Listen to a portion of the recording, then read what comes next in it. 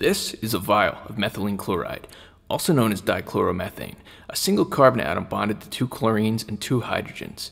Aside from the added blue dye, this compound is a colorless liquid that's extremely volatile, meaning it evaporates quickly at normal temperatures.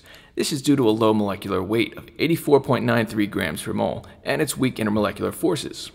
Although the bonds between carbon and chlorines is polar, it's only moderately polar, creating a dipole-dipole and London dispersion forces keeping the molecules held together in the liquid phase. In addition to this, methylene chloride lacks hydrogen bonding between molecules.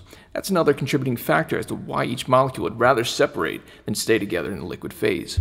Due to these weak intermolecular forces, a small amount of heat from my hands increases the vapor pressure of the methylene chloride, causing it to vaporize and be pushed to the top of the vial. This process makes it appear as though the liquid inside is boiling from the heat of my hand, giving it the name hand boiler.